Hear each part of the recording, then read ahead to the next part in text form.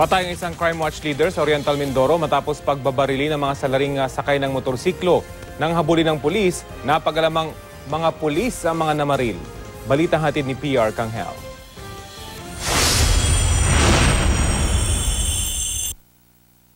Idineklarang dead on arrival sa ospital ang crime watch leader na si Zenaida Luz matapos pagbabarilin ng dalawang lalaking nakabonet sa tapat ng kanilang bahay sa Gloria Oriental, Mindoro nitong linggo. Agad nagkasa ng pursuit operation sa pulisya sa mga nakamotorsiklong suspect.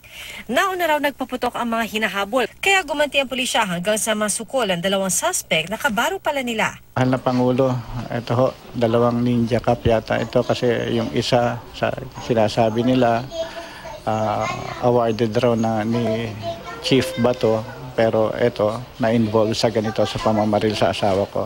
Sina Socorro Chief of Police Markson Almeranes at Senior Inspector Magdaleno Pimentel Jr. sinampahanan ng reklamong murder, multiple attempted murder at administrative case. Kasi ang status po nila ay ah, hospital arrest kasi ah, nagkaroon lang po lang sila ng tama at naka, makaka-recover naman po. Git ng PNP, hindi nila kukonsintihin ang dalawang suspect kahit pakahanay nila sa serbisyo. Tiniyak din nilang sa korte haharapin ng dalawa ang ginawa nilang krimen. Iniimbestigahan pa ang motibo sa pagpatay na patunay ng mga naunang ulat na may mga polis na sangkot mismo sa mga pagpatay na hindi naman police operation.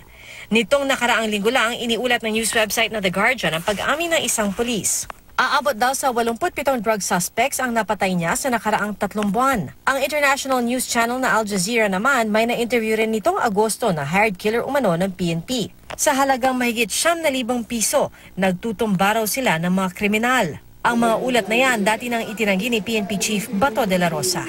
PR Kanghel, GMA News.